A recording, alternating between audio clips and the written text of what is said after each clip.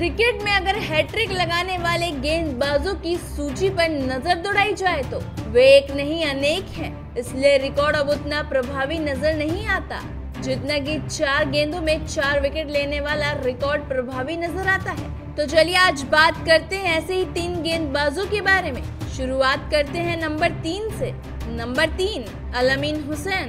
बांग्लादेश के Alamin Hussain T cricket में चार गेंदों में चार विकेट लेने वाले तीसरे गेंदबाज हैं। ये बात साल 2013 की है, जब हुसैन यूसीबी बीसीबी 11 की ओर से अभाहानी टीम के खिलाफ खेल रहे थे। ये पारी का अंतिम ओवर था और गेंदबाजी फेंकने की ज़िम्मेदारी उन्हें दी गई। हुसैन ने पहली गेंद में विकेट ले लिया और दूसरी गेंद में विकेट नहीं ले पाए। लेकिन अगली चार गेंदों में हुसैन ने चार गेंदों में चार विकेट लिए और उनका रिकॉर्ड बन गया।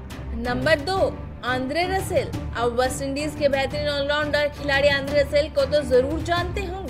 रसेल ने वेस्ट इंडीज ए की ओर से खेलते हुए भारत ए के खिलाफ चार गेंदों में चार विकेट चटकाए थे। ये बात साल 2013 की है। वेस्ट इंडीज ए और भारत ए के बीच बेंगलुरु में टी मैच खेला जा रहा था। रसेल ने भारतीय पारी के 19वें ओवर में चार बेहतरीन भारतीय बल्लेबाजों को चार गेंदों में आउट कर दिया था। ये चार आउट होने वाले बल्लेबाज कप्तान युवराज सिंह, केदार जाधव, नमन ओझा और यूसुफ पठान थे। और अब बात करते हैं नंबर एक की।